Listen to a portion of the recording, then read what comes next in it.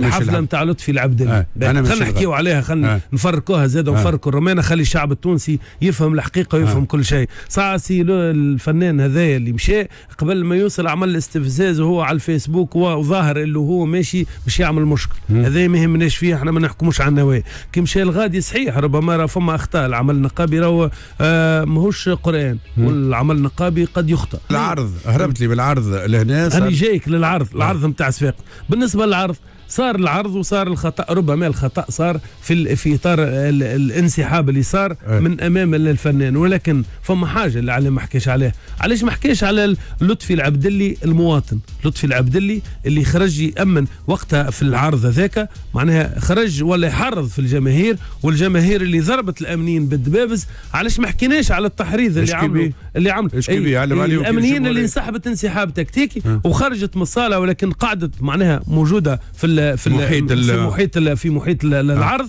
والفنان هذاك هو اللي كان يقلب في ال- في الجماهير على الأمنين. شيء هذا الكل ما حكي ما حكيتوش. الإعلام تعديت معناها حكينا كل شيء. ما حتى على. الفيديو وحكينا حتى على الفيديو اللي نقابي من النقابيين قال كان يدخل القرقنا انقصوا له راسه. صورة خايبة برشا معناها. صورة خايبة وخطأ. نعرفكم نعرفكم خطيكم هذا ما تعملوش. أنا نعرف. شوف صورة خايبة وخطأ. وأنا قلت لك العمل النقابي راهو قابل للخطأ. وكل واحد يخطئ راهو يتحمل مسؤوليته.